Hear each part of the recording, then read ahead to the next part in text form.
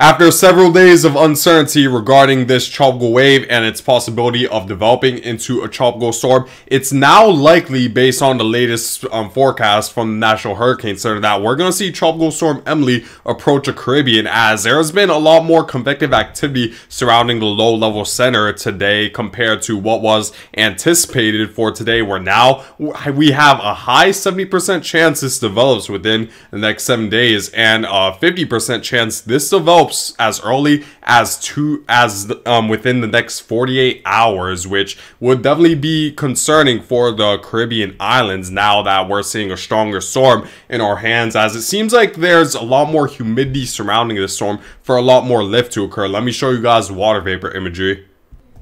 So this is how Invest 95L looks like right now, and we do see that there's a decent amount of convection going on around the low level center. Now, at this point, what the computer models forecasted was that there was going to be a wide area of scattered thunder showers, not really a very um, small and consolidated area where the low level center could be closed and where the majority of thunderstorm activity will occur. But it seems like the computer models definitely um, under underestimated this storm's intensity as well as convective activity surrounding the low-level center as there isn't as much dry air that's inhibiting the lift and the convective activity around the center of circulation. And that's definitely um, uh, the reason why the National Hurricane Center has risen its chance. We're going to see a tropical storm and the computer models have as well. So there's definitely something to definitely be aware of for the Caribbean islands at this point. Now you're probably wondering how strong will this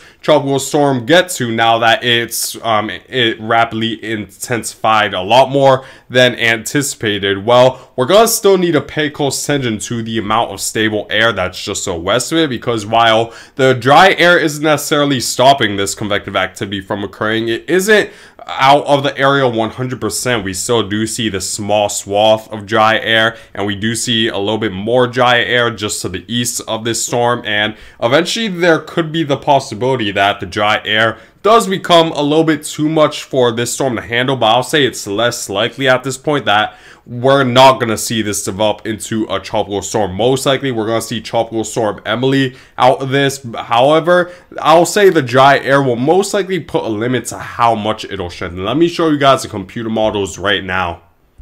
In the latest forecast run of the GFS model, the GFS model now has a higher amount of confidence that this storm will be much stronger than it initially anticipated. So as we continue to move forward, as the storm system continues to head further westward, we see that the GFS model is maintaining its strength for the most part when it comes to this tropical wave. It's hovering right around the 1010 millibar range, so that's borderline tropical storm or maybe uh, slightly above tropical storm status. However, I even think that this um, latest initialization of the GFS model run is still underestimating how much this storm will strengthen because I do believe believe that it should intensify more than what the GFS model is suggesting because the computer models are still a little bit behind with how much convective activity is going on surrounding the center of circulation of this tropical wave. So most likely we're going to see over the next several initializations, we're going to see the computer models continue to shift their forecasts to a more stronger solution and we're going to need to wait and see how much stronger it is before we can give a more conclusive um uh, more conclusive answer regarding how much this will strengthen um as we approach a caribbean still won't be 100% certain but it will definitely give a better idea than what we're seeing right now but we do see that the gfs model still wants to take a tropical storm force strength storm towards the leeward islands so you should expect of course, heavier rainfall and gusty winds right around the Wednesday, July 26th timeframe. And what's interesting is that the GFS model wants to shunt this even more so, and um, once it approaches the southern portion of the Caribbean islands, just to the south of Puerto Rico, where it reaches its peak intensity at this point with its millibar pressure hovering around 1006 millibars, which is definitely very interesting. Initially, it was expected that the wind shear would have been too much in the southern Caribbean, but but the compute the GFS model especially has been shifting its forecast where at least early on in the southern Caribbean the wind shear should be relatively light. Let me show you guys a wind shear map right now. So there's a GFS's models forecast when it comes to the amount of wind shear between the lower levels and upper levels of the atmosphere. We do see that the wind shear will be relatively light, which I noted in my previous videos that this would be uh, possibly the main um, catalyst in terms of this storm um, being able to potentially develop is due to the fact that the wind shear is going to be very light and that's going to definitely help at least um, increase the possibility of tropical storm development. However, now that we're seeing more convective activity than usual over a lightly sheared environment, it's most likely we're going to see a tropical storm out of this. And we do see the wind shear is still relatively light. And while it does increase by the time um, this storm approaches the Southern Caribbean, it still has that small area where the wind shear will remain relatively light enough to where the low level center will be sort of shielded away from that stronger wind shear um, from induced by this upper level low that would be located just to the north of Cuba. It's still in that small area and with the increased amount of convection, that definitely will at least help this storm despite potentially the moderate wind shear it'll encounter by the time it approaches the Caribbean a little bit more than let's say if this were a very weak tropical wave. So that's only gonna help this storm maintain its strength as it approaches the Caribbean and in fact strengthen a little bit more because once that tropical wave um, really develops a close center circulation, it definitely takes a lot more wind shear to completely deteriorate the storm and that's what the GFS model is forecasting right here. It expects a pretty prolonged period of strengthening and then reaches its peak intensity in the Caribbean before the wind shear just becomes a little bit too much and potentially the dry air as well. Let me show you guys the relative humidity in the mid levels of the atmosphere. So there's a GFS models forecast when it comes to the amount of humidity and moisture surrounding the storm.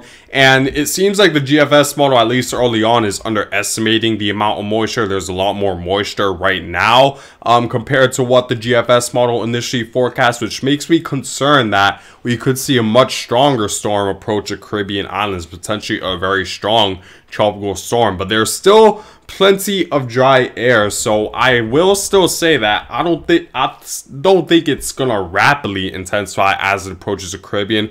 But of course, this storm has a much higher possibility of becoming a strong tropical storm once it approaches the Leeward Islands, which would bring much more impacts to you guys. And then beyond that point, we do see that it could bring enhanced rainfall to um, Puerto Rico, Dominican Republic, and Haiti, especially if the storm were to take a slight shift further northward. So in those islands, even if the low level center is going to be well to the south of you guys, you still could experience major impacts when it comes to flooding. So you definitely need to pay close attention to that along those islands. And even beyond that point, we see the rain eventually impacts the Yucatan Peninsula. So we're definitely going to need to pay close attention to this in the more long-term future. Now, to determine if this will strengthen into potentially a strong tropical storm or maybe even a little bit more than that, we are really going to need to see the amount of dry air. Already, so so far, the computer models have been incorrect regarding the amount of dry air. They definitely overestimated it and underestimated the amount of lift and convective activity going on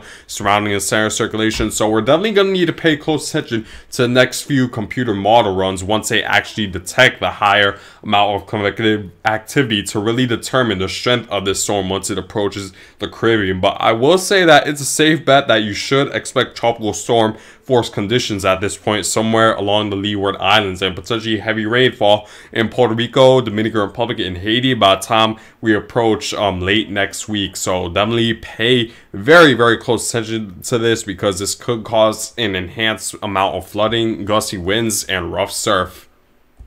The European model is showing a fairly similar forecast to the GFS model, but there are some key differences. So, for one thing is that, of course, the European model is also underestimating the amount of convective activity going on around this the center circulation of this storm. So that's definitely something, um, this forecast is definitely something to take with a little bit more of a grain of salt because it isn't updated based on the latest information. Once the computer models detect the enhanced amount of convection, then we should see um, a solution that is stronger than what you see right here. But even the European model is expecting um, a pretty strong tropical storm, or at least a storm that's around tropical storm status. I won't say a strong tropical storm, but we do see this brings enhanced rainfall right around Leeward and Windward Islands, and even northern Venezuela could get involved. And what's interesting is that the the solution takes a storm a little bit further southward. This is due to the fact that the ridge is stronger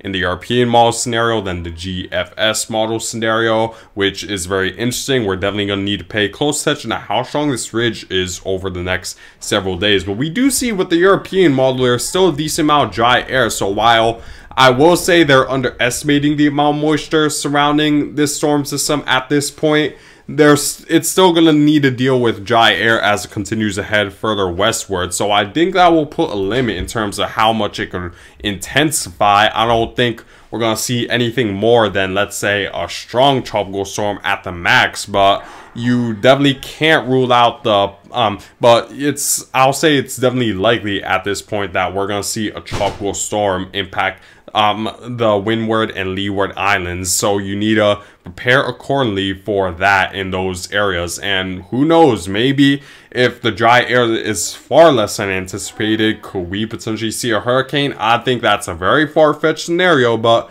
with how much the computer models have been shifting their forecast over the next several days, I definitely wouldn't put, um, put it out of the realm of possibilities. In terms of the track forecast, some of you guys are probably wondering if this has a possibility of impacting Puerto Rico, Hispaniola, and Cuba more directly, as well as Jamaica. Where the key thing we're going to pay close attention to is this ridge right here. If this ridge is a little weaker, then of course we should see a track that takes a storm a little bit further um, northward towards the bigger Caribbean islands. But if we were to see this ridge as strong as we see it right here, then we should see a much more um, southern track where it mainly impacts the Leeward Islands directly and Venezuela um, receives some rainfall from this. And But still, even if this takes us a track further southward, there's still a possibility Puerto Rico as well as Hispaniola could receive impacts regard uh, mainly in the form of heavy rainfall. So you definitely need to watch out for that possibility whether it impacts you guys directly or not. But this ridge will be key. Right now it seems like both of the main computer models want to avoid the bigger Caribbean islands, but I, but with how much the computer models have been shifting their forecasts, along with the some ensemble members wanting to take it further northward, I wouldn't rule out the possibility the ridge will weaken and move this storm a little bit further northward. But at this point, I'll say the most likely scenario is still that it'll take this sort of direction where it'll move just south of Puerto Rico and the Dominican Republic.